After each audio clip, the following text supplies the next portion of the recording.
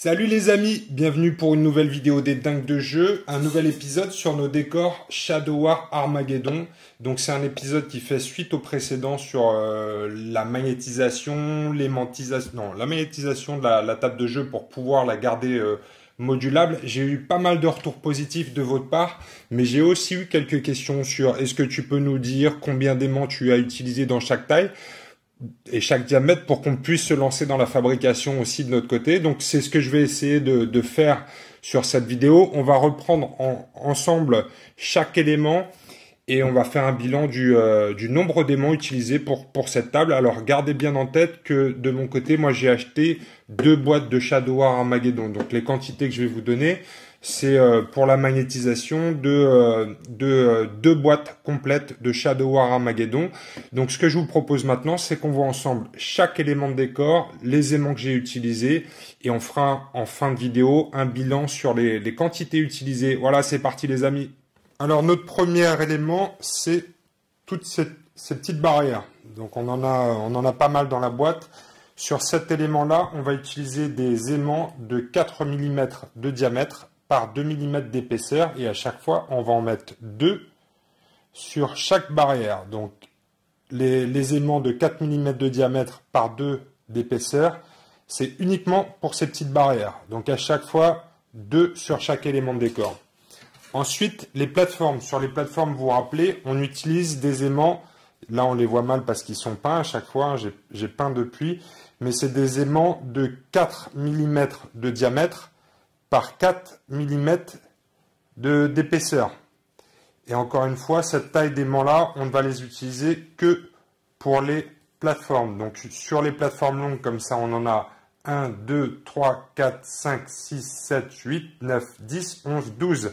12 aimants sur les, plateformes rectangulaires.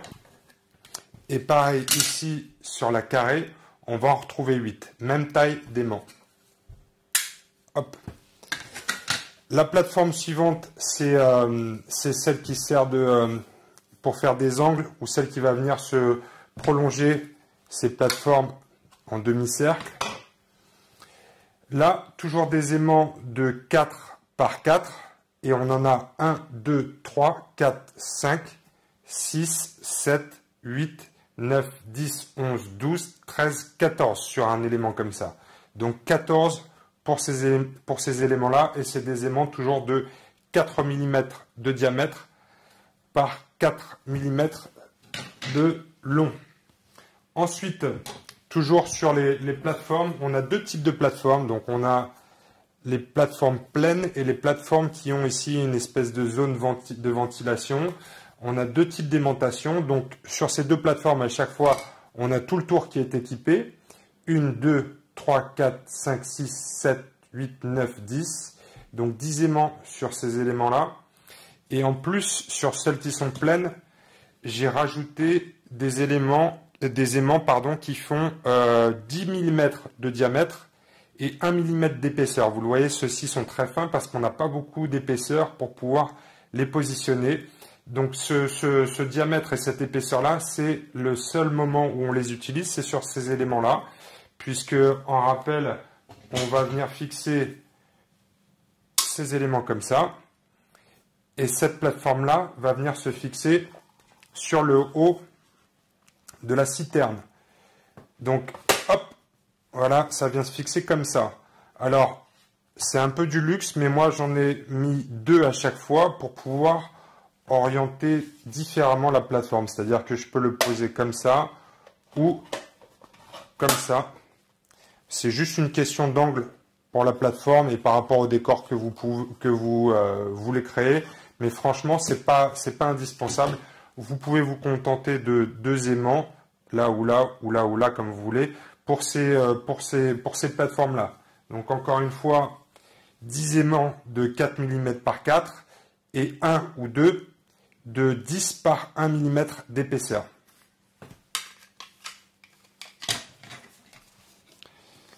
Élément suivant, c'est cette citerne cette chaudière.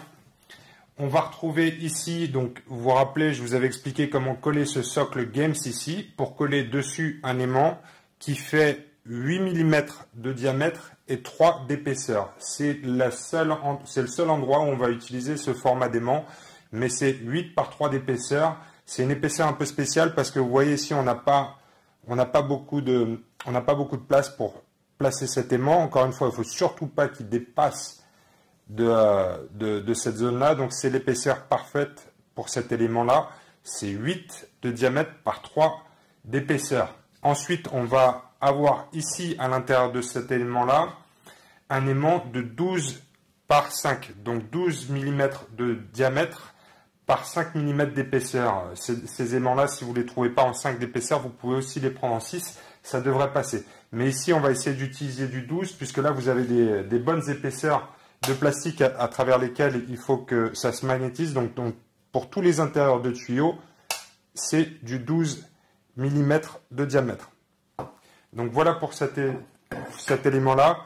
On aurait pu magnétiser ici aussi, mais comme c'est une grille, on aurait vu l'aimant à l'intérieur. Donc moi, j'ai préféré le laisser comme ça. C'est un choix personnel, mais vous pouvez aussi magnétiser avec des aimants de 12. Moi, j'en ai utilisé juste un ici, et ici, donc mon 8 par 3. L'élément suivant, c'est la grosse citerne.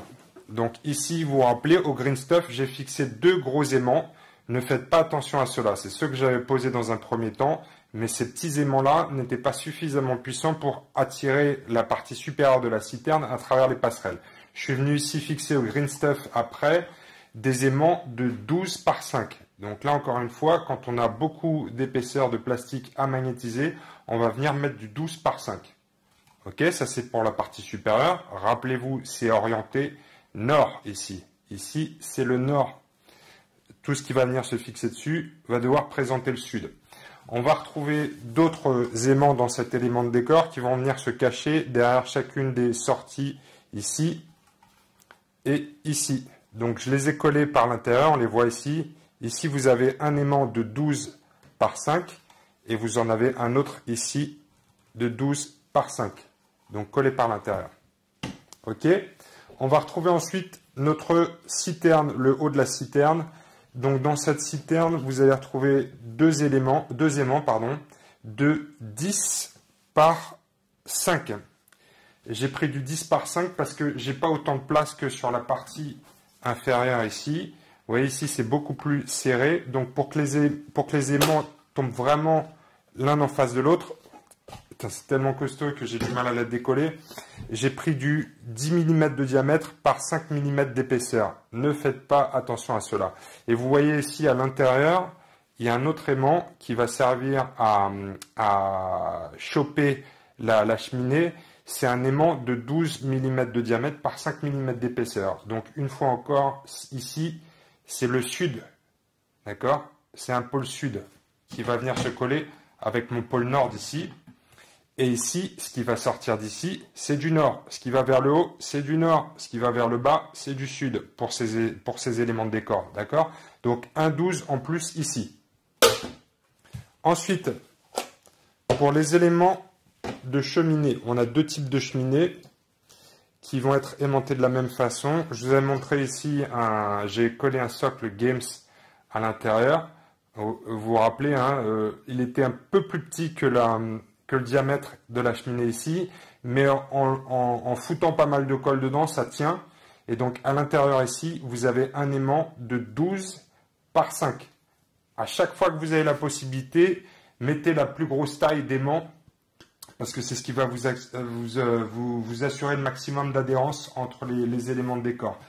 Ici, pareil, une grille, j'ai pas aimanté, j'en ai pas vu l'utilité en même temps quand j'ai commencé à bidouiller mes éléments de décor je me suis dit que j'allais pas forcément venir euh, fixer des, choses ici. Donc j'ai laissé comme ça, juste un aimant sur cet élément-là, c'est du 12 par 5. Pareil ici sur la deuxième cheminée, euh, c'est un aimant de 12 par 5 qui est à l'intérieur. Donc ces deux éléments-là viennent se fixer ici. C'est du costaud, hein. c'est du très costaud. Donc nord, sud, nord, sud, nord, sud. Je répète tout le temps, mais c'est hyper important quand vous construisez votre table de bien respecter cette logique-là parce que sinon vous allez avoir des mauvaises surprises. Alors ensuite, les éléments suivants, c'est tous ces petits, euh, tous ces petits euh, tuyaux. Les tuyaux, c'est pareil. Il y, a des, il y des jonctions ici dans lesquelles vous pouvez mettre des aimants de, euh, de 12 par 5. 12 par 5, quand on a de l'épaisseur, c'est ça qu'il faut prendre. Ok les gars? 12 par 5, 12 par 5, 12 par 5. Donc sur cet élément comme ça, j'ai trois, trois aimants qui vont me permettre de, euh, venir choper les, euh, les tuyaux. Donc vous vous rappelez, hein, il y a une petite astuce ici sur ces éléments de décor, c'est qu'on va jouer sur les nord et sud pour pouvoir les coller entre eux. Donc par exemple ici, je vais venir coller, ça ne marche pas. Parce que je suis un nord contre un nord ou un sud contre un sud, donc ça ne marche pas. Par contre, de l'autre côté du tuyau, ça marche toujours. Hein, j'ai vraiment fait attention pour que je puisse en fait relayer deux citernes. À chaque fois, j'ai un nord et un sud. Ici, ça marche. Ça tient des deux côtés. Et si j'ai fait ça, c'est aussi pour pouvoir coller mes citernes ensemble. Dans certains décors, on peut avoir comme ça envie de, de coller deux citernes ensemble. Donc à chaque fois ici, j'ai un nord et un sud qui est attiré par le côté. Et pareil sur les tuyaux à cette hauteur-là. On a vraiment toutes les configurations possibles et imaginables.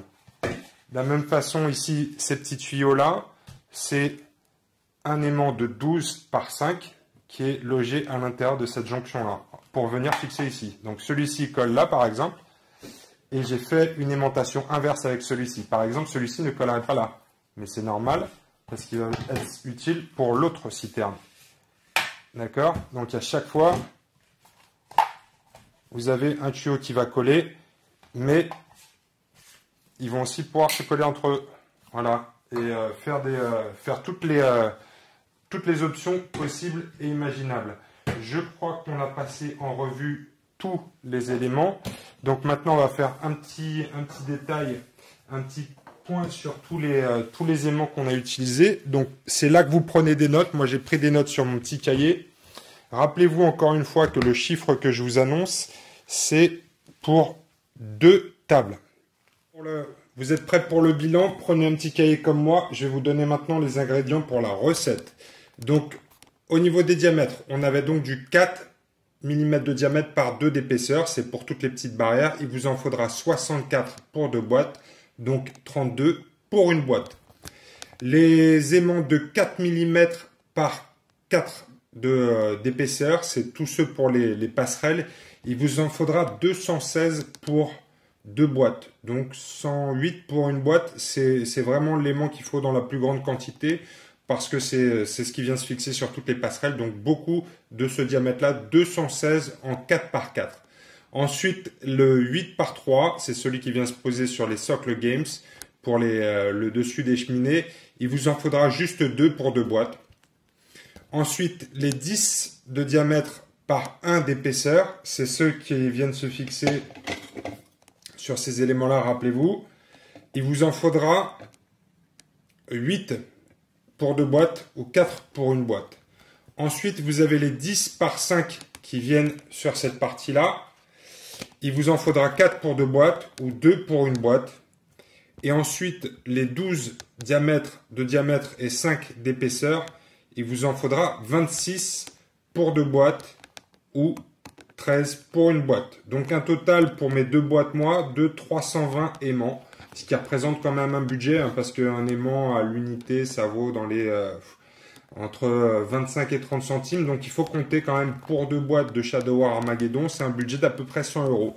C'est un investissement, mais je pense que c'est un bon investissement parce que euh, vous vous assurez une plus grande longévité à mon avis pour la table parce que on l'avait vu, hein, ces éléments-là, les petites barrières, ça vient en force sur des éléments de, passerelle que vous avez peints déjà. Donc non seulement au bout d'un moment, vous allez abîmer les barrières, mais en plus vous allez scratcher la peinture que vous avez euh, euh, mis sur les euh, les, les, passerelles. Mais en plus, tous ces éléments-là, si vraiment vous voulez jouer dessus, vous allez devoir les coller si vous les aimantez pas parce que sinon il n'y a, pas a pas suffisamment de solidité pour pouvoir vraiment jouer dessus, surtout si vous passez du temps à peindre vos figurines, comme on essaye de le faire nous ici.